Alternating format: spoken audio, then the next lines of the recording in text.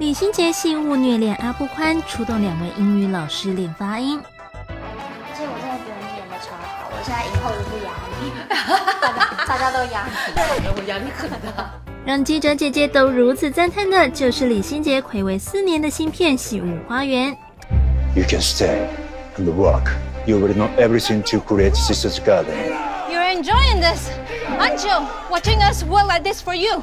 剧中李心洁演出历经二战摧残，却爱上日本人的大马女子，与阿布宽大谈跨国恋。呃他们跟我说，阿布宽先生确定演出我就很开心，因为我虽然还没见到他，但是他的外形，我觉得已经够有魅力了。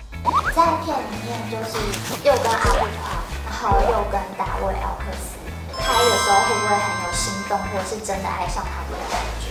我觉得云林一定要爱上阿里头魔，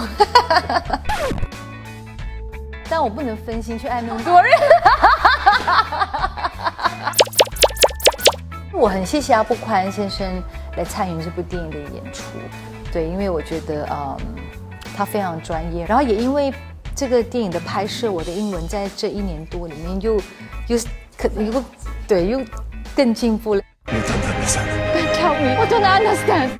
我第一次用全英文对白来演戏，因为我自己的英文其实没有很好，我是苦练的。我是有两个老师，一个英国老师，一个马来西亚的本地老师，然后去调整出刚刚好的马来西亚英式口音。才开拍一个礼拜，我就觉得很累了，我真的很害怕我的样子，我的状态不好，可能嗯超时四小时啊六小时。变相就我休息的时间不够，一个礼拜以后，我记得有一天我们就在那个日本房子，那个早上拍完一个拍完一场戏以后，我就觉得，就突然整个人就就很沉重这样，然后就坐在那个房子里，对，然后导演就过来问我怎么了，他又问我又哭就哭就哭，然后就讲不了话。后来导演也知道，因为我压力很大，而且我很累。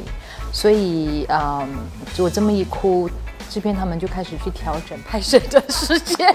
剧中云林除了得面对命运摧残，同时妹妹连爱人都不告而别，让投入角色的心结有苦，但心结不能说，只好杀青后靠传说方式抒发。